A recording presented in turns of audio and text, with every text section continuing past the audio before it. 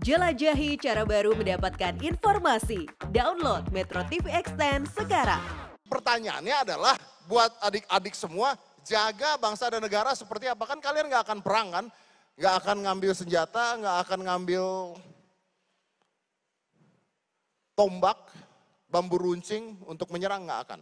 Nggak akan. Saya mau cerita satu. Ancaman negara kita terbesar dari dunia luar itu besar sekali. Tapi ancaman dari dalam juga besar. Saya ngomong gini karena saya ngalamin. Saya ceritain. Dari zaman dulu, Indonesia itu senjatanya oleh negara luar adalah dipecah belah. That's it. Divide et impera. Dipecah belah. Dan rakyat Indonesia paling senang dipecah belah. Paling senang. Nih ya, paling senang. Bung Karno mengatakan zaman saya akan melawan penjajah, zaman kalian lebih sulit karena melawan saudara sendiri. Suku di Indonesia ada 1400 suku di Indonesia. Bahasa ada 700. Agama diakui ada enam. Gak ada negara lain sekompleks itu. Gak ada. Cuman Indonesia. Lu bayangin. 1400 suku. Agamanya beda, bahasanya beda. Jadi satu negara itu gak ada di negara lain. Kelemahannya pasti gampang dipecah belah. Benar? Gampang dipecah belah. Sedangkan kita tahu pelangi itu indah karena warnanya beda.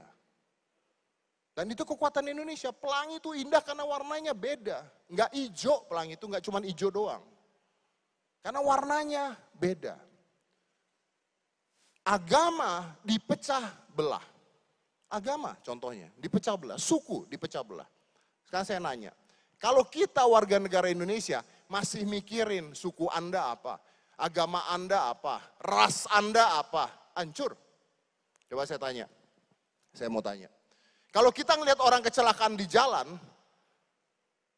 yang kita tanya apa dulu? Bapak nggak apa-apa, gitu ya. Ibu nggak apa-apa, ya. Kalau Anda cek nama orang di Google, yang keluar apa dulu? Agama. Cek nama saya, Deddy Corbuzier, nextnya pasti keluar agama. Cek semua orang, nextnya pasti agama. Penting banget untuk orang-orang kepo tahu. Aneh loh.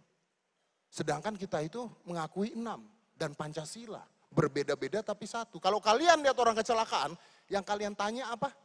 Bapak nggak apa-apa, ibu nggak apa-apa, dibantu. Nggak nanya agamanya kan? Lu bayangin nggak ada orang kecelakaan, anda jalan gitu. Uh, eh bentar, agamanya apa? Uh, ini udah mau mati, udah mau mati nih. Napas menggap-menggap nih ya.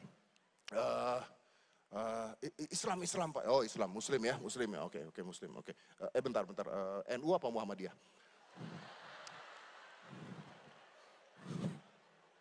Uh, dia mikir kan, karena udah geger otak kan. Dia mikir kan gitu kan. Uh, NU, NU, NU Pak, NU. Ah ya itu dong baru. Eh bentar, PKB apa Demokrat? Demokrat Pak, Demokrat Pak. Bentar, Demokratnya AHY atau Muldoko? Mati.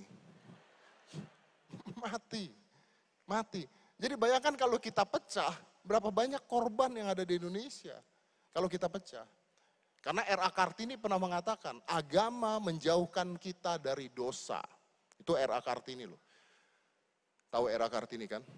Raden Ajeng Kartini. Agama memang menjauhkan kita dari dosa. Tapi berapa banyak dosa yang dilakukan atas nama agama. Itu bukan kata saya.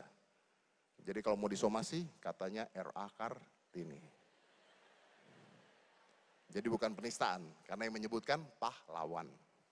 Tahu era Kartini kan? Tahu dong. Lo nggak tahu sih gue lempar mic lo beneran. Era Kartini itu yang mengatakan habis gelap terbitlah terang. Yang dipakai sama anak-anak Gen Z sekarang habis gelap tidak pulang-pulang. Nah itu era Kartini. Pulangnya pagi soalnya. Jadi kalau pertanyaannya, kalian sebagai anak-anak muda, strateginya gimana, apa yang harus kalian lakukan untuk bela negara? Mulai dari hal-hal kecil. Pertama, mencintai bangsa dan negaranya, rakyatnya. Tidak mudah diadu domba, menerima perbedaan. Dan yang paling sederhana nih, saya mau tolong dengarkan baik-baik. Sekarang ini zamannya udah bukan perang tembak-tembakan Mungkin kalau dijajah kita tembak-tembakan. Tapi sekarang perangnya adalah lewat sosial media, sosmed. Bagaimana menggunakan sosmed yang baik dan benar. Itu juga. Jelajahi cara baru mendapatkan informasi. Download Metro TV Extend sekarang.